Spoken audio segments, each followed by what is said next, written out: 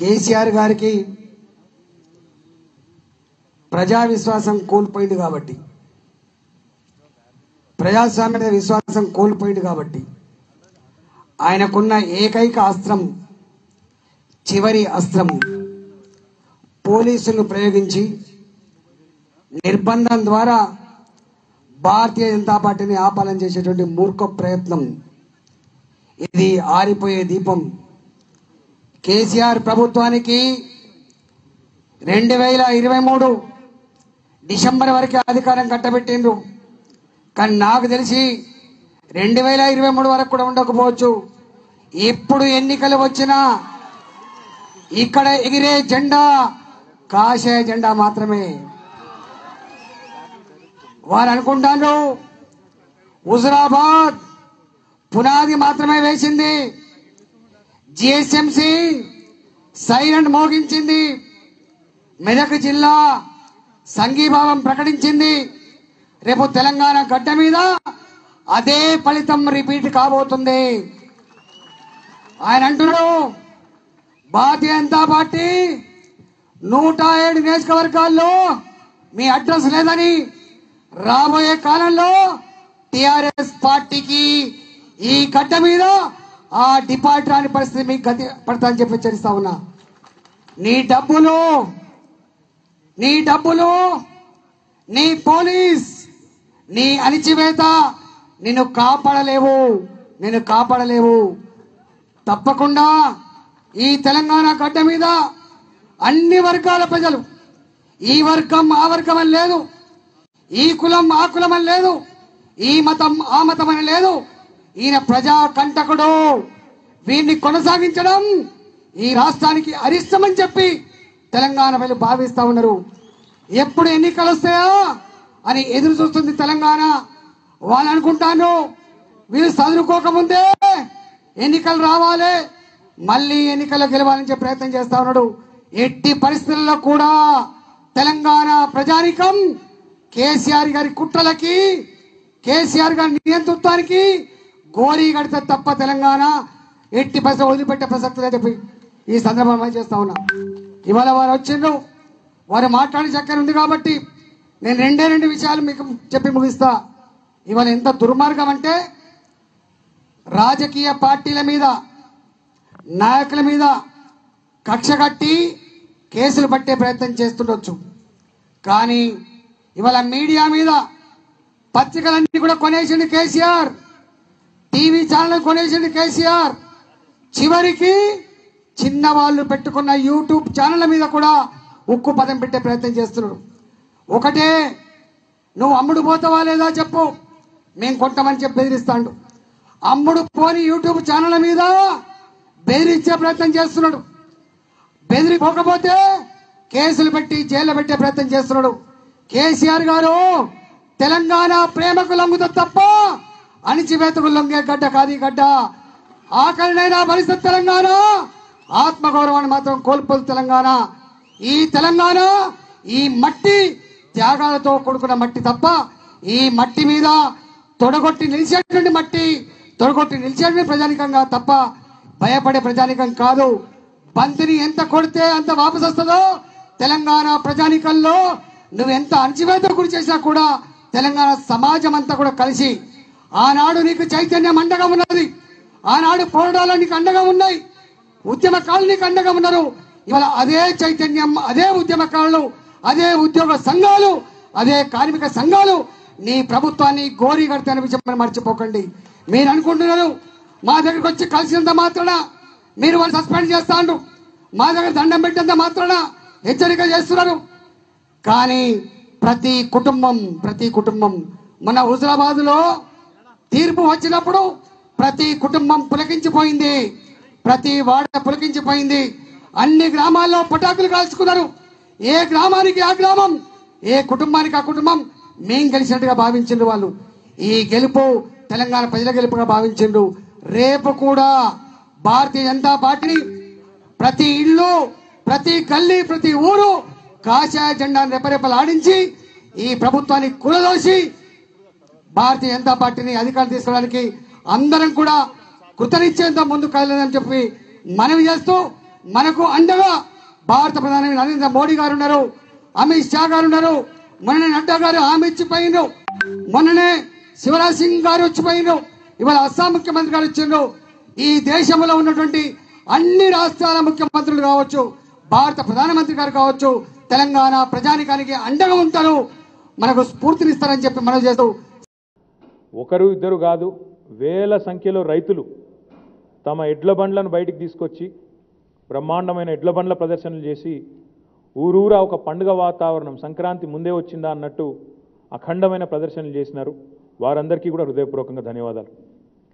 రైతులైతే తమ పొలాల్లోనే మిర్చి పంట ఉంటే మిర్చి పంటను అందంగా పేర్చి కేసీఆర్ గారి పేరును పెట్టి రైతు బంధు అని పెట్టి యాభై వేల కోట్ల రూపాయలు అని స్పష్టంగా రాస్తూ భారతదేశ చరిత్రలోనే ఇట్లాంటి అద్భుతమైన కార్యక్రమం ఎవరు చేయలేదని కీర్తిస్తూ మిర్చి రైతులు వరి పండించే రైతులు కాటన్ పండించే రైతులు ఒకరు కాదు పలు రూపాల్లో తమ అభిమానాన్ని గత వారం రోజులుగా చాటిన ప్రతి ఒక్కరికి శిరస్సు వంచి హృదయపూర్వకంగా వారందరికీ కూడా పార్టీ పక్షాన నేను ధన్యవాదాలు తెలియజేస్తా ఉన్నా. కానీ కోవిడ్ నిబంధనలు పది తారీఖు వరకు మన ప్రభుత్వమే నిబంధనలు పెట్టింది. మరి మాకేమో ఇంకా ఉత్సాహంగా ఇంకా చేయాలని ఉందని చెప్పి మా పార్టీ నాయకులు కార్యకర్తలు అడిగితే ఈ సంబురాలను సంక్రాంతి దాకా జరుపుకోమని చెప్పి కూడా కోవిడ్ నిబంధనలు పాటిస్తూ ఎక్కడి వారు అక్కడ కొంత సామాజిక దూరాన్ని కూడా మెయింటైన్ చేస్తూ ఈ వ్యాధి వ్యాప్తి చెందకుండా జాగ్రత్తగా చేసుకోమని చెప్పి కూడా పార్టీ వర్కింగ్ ప్రెసిడెంట్గా నేను వారందరికీ కూడా విజ్ఞప్తి చేస్తా ఉన్నా. మళ్ళొక్కసారి హృదయపూర్వకంగా వారందరికీ ధన్యవాదాలు కూడా తెలియజేస్తా ఉన్నా. నిజంగా స్వతంత్ర భారత చరిత్రలో ఏ నాయకుడు ఏ పార్టీ ఎవరూ చేయని సాహసం మాటలకు అందని మహాసంకల్పం కేసీఆర్ గారి మానస పుత్రిక రైతు బంధు. ఇదొక ఆషామాషి కార్యక్రమం కాదు మాటలు చెప్పినంత ఈజీ కాదు. కానీ ఒకసారి ఇవాళ ఈ మధ్యన వచ్చి మాట్లాడుతున్న పొలిటికల్ టూరిస్టులు కానీ లేదా ఈ మధ్యన నిన్ననే మొన్ననే పుట్టినట్టు గతంలో వారు ప్రభుత్వాలు నడపనట్టు ఇవాళ రైతుల మీద ఎక్కడలేని మొసలు కన్నీరు గారుస్తున్న నాయకుల కళ్ళు తెరిపించడానికి కానీ ఇవన్నింటికి మించి టీఆర్ఎస్ అంటేనే ఈరోజు తెలంగాణ రైతు సర్కార్ అనే పద్ధతుల్లో తెలంగాణ రాష్ట్ర సమితిని అడుగడుగున ఆశీర్వదిస్తున్న రైతన్నలకు ఒకసారి గతం ఎట్లా ఉండే ఈరోజు ఎట్లా ఉండే అనేది గుర్తు చేయవలసిన బాధ్యత కూడా ఒక పార్టీగా మా మీద ఉందని చెప్పి నేను భావిస్తా ఉన్నాను ఆనాడు ఉమ్మడి ఆంధ్రప్రదేశ్లో రైతుల వెతలు మీ పత్రికల్లో ప్రధాన శీర్షికలు రైతుల వెతలు. కానీ ఈరోజు తెలంగాణ స్వయం పాలనలో కేసీఆర్ గారి నాయకత్వంలో రైతుల ఖాతాలు ఈరోజు పతాక శీర్షికలైనాయి. ప్రతినిత్యం పతాక శీర్షికలుగా ప్రతి పత్రికల్లో వస్తూ ఉన్నాయి.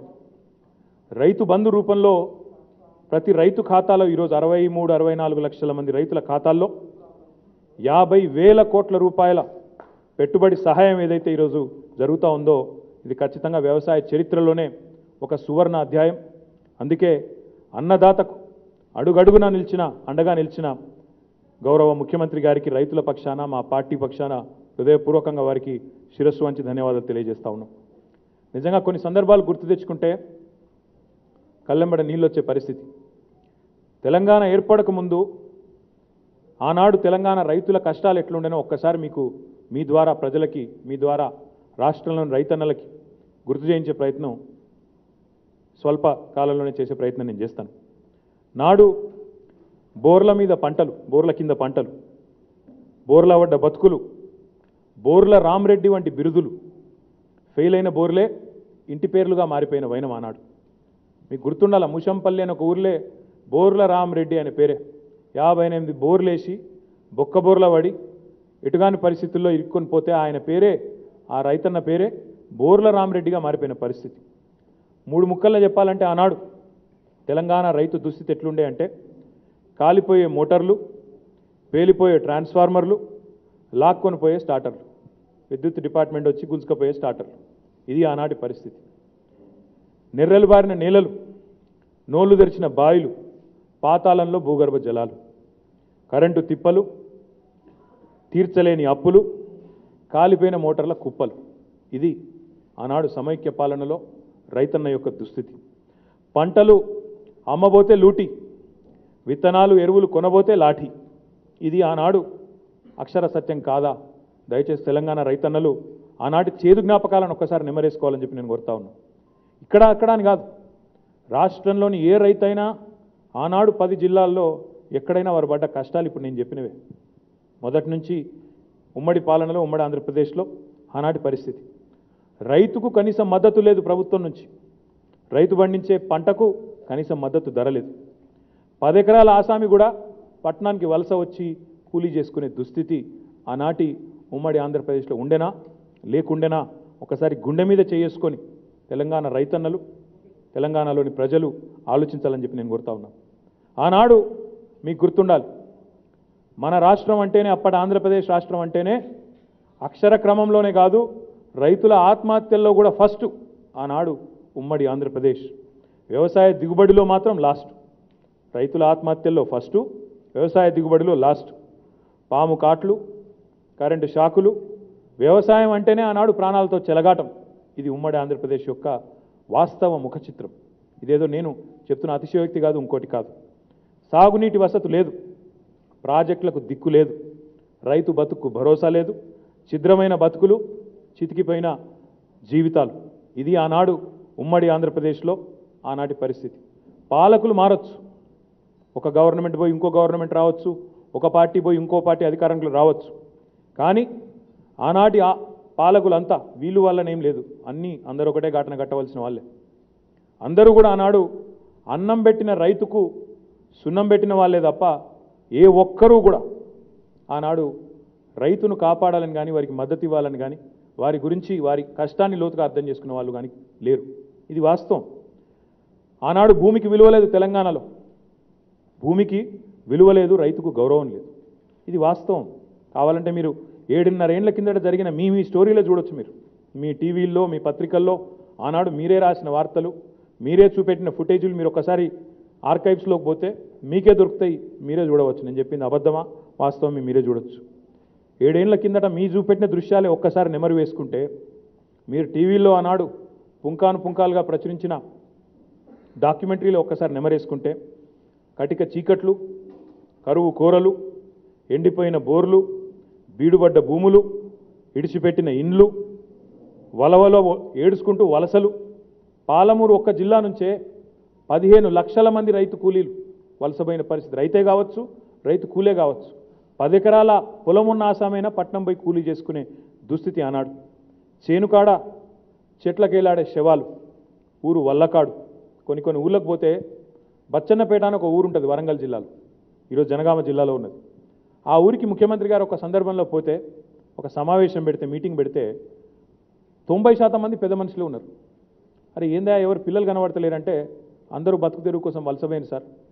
మీ దగ్గరనేనా అట్లాంటి పరిస్థితి. ఆనాడు ఊరు వల్లకాడు రైతు అంపశయ్య మీద భీష్ముడు. రైతును శిలువ ఎక్కించి చేతులకు కాళ్ళకు మొలలు కొట్టిన పరిస్థితి ఆనాడు. నకిలీ విత్తనాలు కల్తీ పురుగు మందులు పోలీస్ స్టేషన్లో ఎరువులు పెట్టుబడి బుట్టక తిప్పలు మెడ మీద మిత్తితోని పెట్టిన కత్తులు కరెంట్ అడుగుతే కాల్పులు ఇది ఆనాడు. తెలంగాణ ఏర్పడక ముందు ఉమ్మడి ఆంధ్రప్రదేశ్లో ఉన్న వాస్తవ ముఖ చిత్రం. ఇంకా దరిద్రం ఏంటంటే మా ఆర్మూర్ ఎమ్మెల్యే ఇన్నే ఉన్నాడు. ఎర్రజొన్న బకాయిలు అడిగితే రైతుల మీద కాల్పులు. బకాయిలు అడిగితే తూటాలు. అన్నదాతకు అరిగోసలు. రైతన్న చుట్టూ రాబందులు ఒక దిక్కు అంజుమన్ బ్యాంకు పిక్కదినుడు. ఇంకో దిక్కు కమర్షియల్ బ్యాంకు పిక్కదినుడు. ఇంకో దిక్కు వడ్డీ వ్యాపారి పిక్కదినుడు. ప్రభుత్వం సహకారం సున్నా. మరి ఆత్మహత్య చేసుకోక ఎక్కడ పోవాలి? ఇది ఆనాటి పరిస్థితి.